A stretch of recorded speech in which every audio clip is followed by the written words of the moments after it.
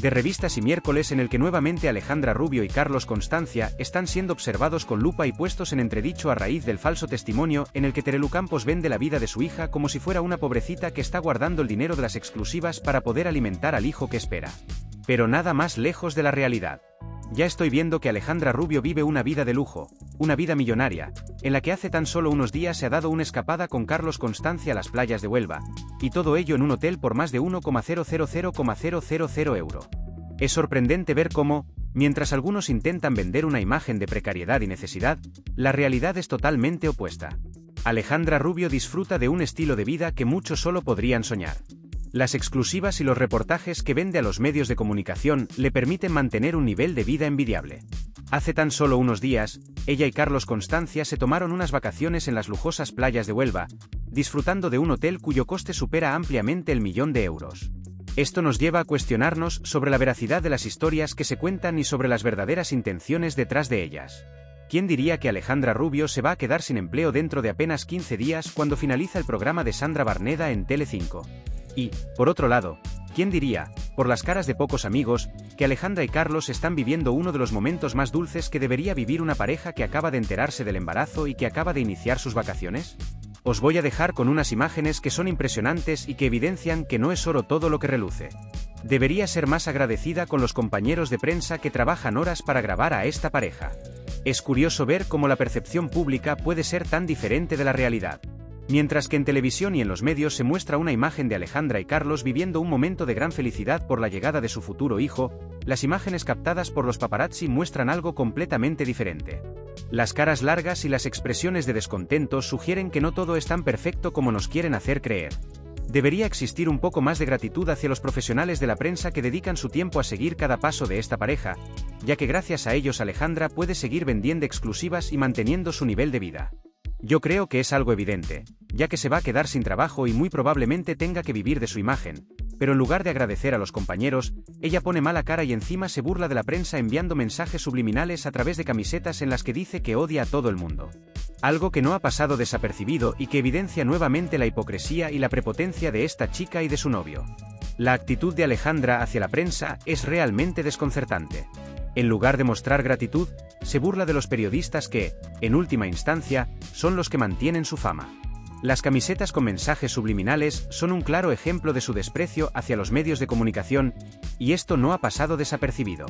La hipocresía de mostrar una cara en público y otra en privado es algo que tarde o temprano pasará factura, tanto a ella como a su novio. Concretamente, la revista Semana es la encargada de fotografiar en exclusiva las lujosas vacaciones después de que hayan sido captados en un yate en Formentera y posteriormente en Ibiza. Oye, perdonadme, pero no son vacaciones asequibles para todos los bolsillos. Solo un alojamiento en Formentera oscila entre 400 o 500 euros la noche, y ahora la revista Semana confirma que la hija de Terelu Campos y el hijo de Mar Flores, tras esas escapadas lujosas, han viajado hasta el Rompido y han pasado una noche en un lujoso hotel de cuatro estrellas. Las escapadas a lugares exóticos y los alojamientos en hoteles de lujo parecen ser la norma para Alejandra y Carlos. La revista Semana ha documentado cada uno de sus movimientos, desde el yate en Formentera hasta las playas de Ibiza.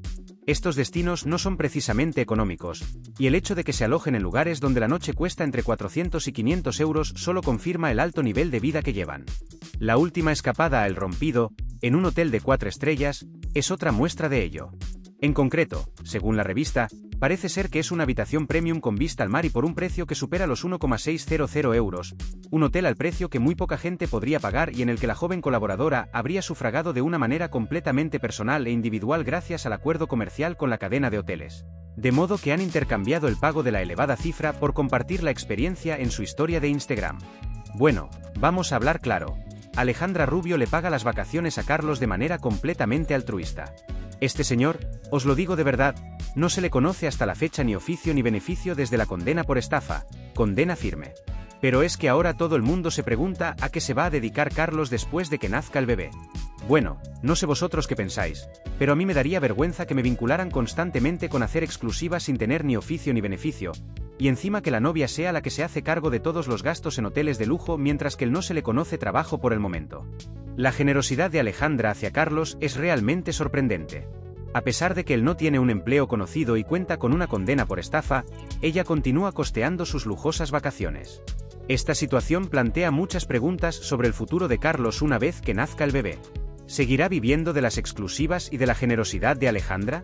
Personalmente, creo que es una situación insostenible y que no proyecta una imagen positiva para ninguno de los dos. ¿Cómo será la preocupación de Alejandra Rubio por quedarse en el paro que se ha pagado un hotel de 4 estrellas a 150 euros la noche y que dispone de, atentos, una enorme cama de máximo confort de 2x2, televisión de 42 pulgadas, climatizador, minibar, terraza? Una habitación que, como os contaba, era de categoría superior y que tiene acceso gratuito al spa, circuito de hidroterapia, cama balinesa, servicio de bebida y servicio de comida. Bueno, esto no queda aquí, porque parece ser que estarían disfrutando en un régimen de pensión completa y todo incluido, cuya estancia mínima es de cuatro noches. Juzguen ustedes. Yo, muy preocupados, la verdad, por quedarse sin empleo no los veo. Y eso sí, siempre habrá más exclusivas para vender a la criatura. La preocupación de Alejandra por su futuro laboral parece ser mínima, considerando que puede permitirse alojarse en hoteles de cuatro estrellas con todas las comodidades. Las habitaciones que eligen no son precisamente modestas, con camas de máximo confort, televisores de gran tamaño, minibar y terrazas con vistas. Además, disfrutan de servicios adicionales como spa y circuito de hidroterapia. Todo esto pagado, en gran parte, gracias a las exclusivas que venden. Esta falta de preocupación por quedarse sin empleo es evidente cuando se observa el estilo de vida que llevan. Dicen que una imagen vale más que mil palabras, y a juzgar por las caras de pocos amigos de Alejandra Rubio y Carlos Constancia saliendo de la estación de tren y llegando a sus supuestas vacaciones paradisíacas, lo único que alimentan estas imágenes son los rumores de que la relación no es idílica como intentan vendernos, que no es una relación normal. Desde que comenzó, están vendiendo exclusivas. Primero parecía ser que eran posados robados, posteriormente directamente posados pagados. Y veo a una Alejandra Rubio con una cara de muy pocos amigos para estar viviendo las primeras vacaciones de verano con el padre de su futuro hijo. Perdonadme, pero si me equivoco, corrégime en comentarios. Creo que todavía no llegan ni a seis meses de relación. Las imágenes no mienten, y las expresiones de Alejandra y Carlos son un claro indicativo de que la relación no es tan perfecta como quieren hacernos creer. Desde el inicio de su relación, han estado vendiendo exclusivas, primero con fotos supuestamente robadas y luego con posados claramente pactados. Alejandra muestra una cara de pocos amigos que no coincide con la imagen de felicidad que debería tener una pareja que está esperando su primer hijo y que está disfrutando de sus primeras vacaciones de verano juntos.